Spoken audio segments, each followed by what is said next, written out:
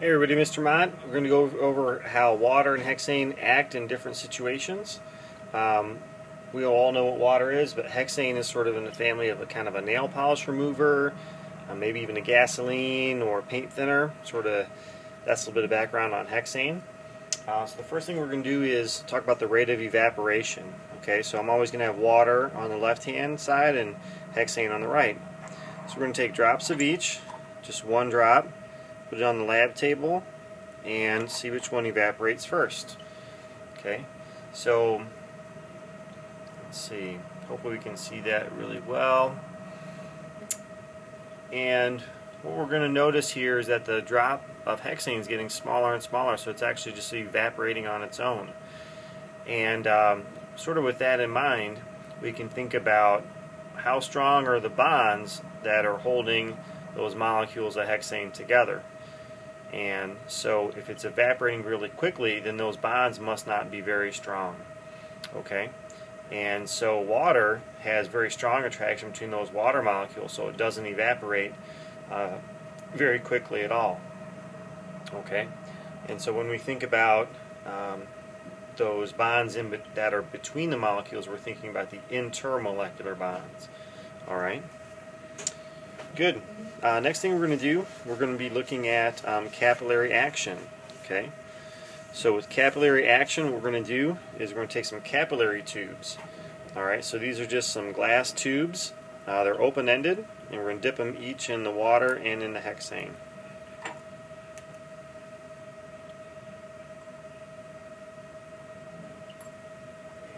Okay. So we'll notice there's a big difference in how much kind of see on the white background a little bit better actually maybe that the water that the water went a lot further up on in the in the uh, capillary tube than the hexane did. Um, so what can we think? What can we draw? What conclusion can we draw from that? Um, we can think about well, water. You could think about it as being more attracted to the material in the glass. Um, also, you can maybe think about uh, surface tension as well. Okay, um, both of these, if you hold them there, um, they're not going to sort of fall out. Something that's also interesting is that if you kind of try to tip these and move these, you'll notice that the hexane is sort of moving back and forth in the tube, whereas the water moves a lot more slowly. Okay, so if I get them both down to their starting position here, okay, and then I tip them over, the hexane moves really rapidly. So um, the water must be sort of holding on to the glass a lot easier than the hexane does. Alright, so that's capillary action. Uh, next thing we do is talk about surface tension. And so what we're going to do is put drops of water and hexane on a penny. So, and what we would want to do is we'd want to keep track about how many drops we have on the uh, uh, on the penny and also on on uh, from the water and from the hexane. So we'll start out with hexane, and where we're going to stop is when it overflows.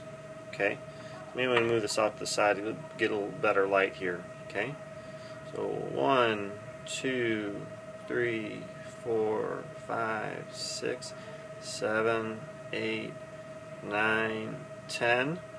Actually, I think it overflowed. 11, 12, yep. So maybe somewhere between 10 and 12 it overflowed, okay, on the hexane. What we'll do is look at for water, how many drops of water can we get on our penny. Alright, so one, two, three, four. You'll notice right away that how the hexane really spread out and the water is really sort of staying in a bubble. Okay, so we're on 4, 5, 6, 7, 8, 9, 10, 11, 12, 13, 14. Alright, I'm on 14. I'm going to pause for a second on the drops. I'm going to try to show you from a side angle what does this look like.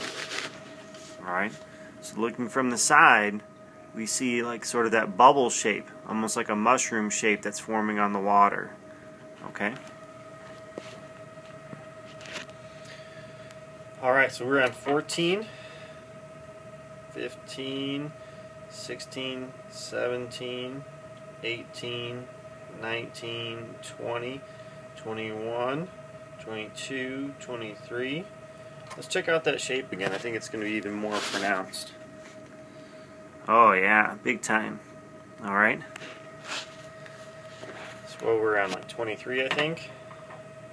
24. Ah, glad we did that. So we're at 24 versus I think about somewhere between 10 and 12 over here. So we can see water has much more surface tension.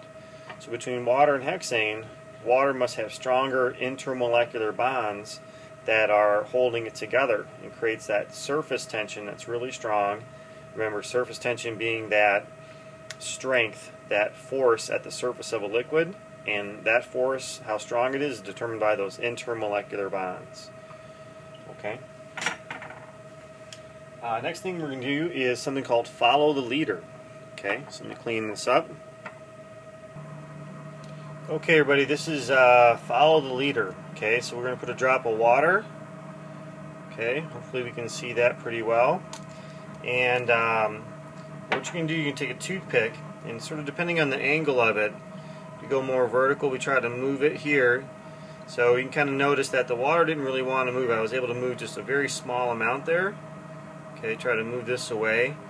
If I hold it more of an angle, I might be able to pull a little bit of it away, but you'll notice that it really sort of, the water molecules, a lot of them, they, will, they want to stay in this group, and then the ones I was able to pull away, they sort of stay together. So thinking about the strength of those intermolecular bonds, um, you're going to notice that the water molecules really want to stay together. Those intermolecular bonds, the bonds between the molecules, must be really strong. Okay? Now, if I want to do this for hexane, alright, I'm going to have to move pretty quickly because the hexane molecule uh, really wants to spread out okay, and evaporate. So I'll put a drop there. I can move it. Let's see if you can, if we can see this.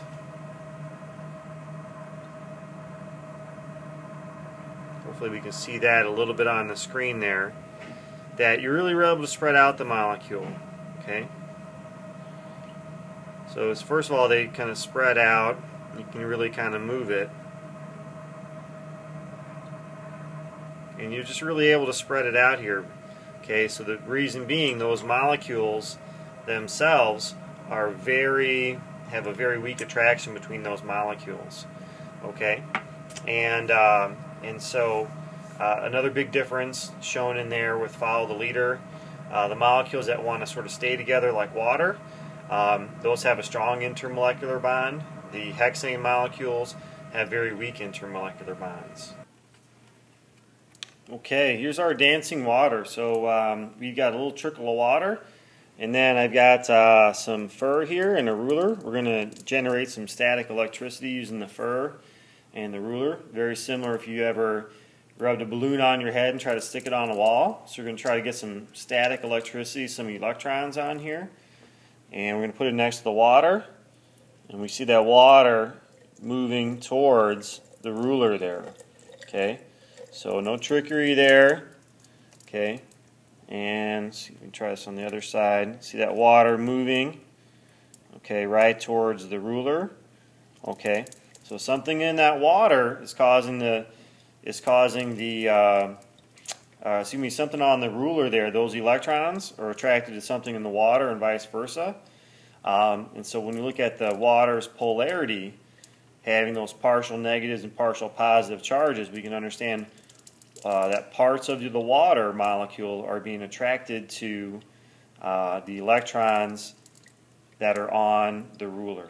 All right, that's our water hexane lab. Hopefully, it's giving you some insight about um, how these different particles behave based on their different intermolecular uh, attractive forces. And hope that helps. Have a good one.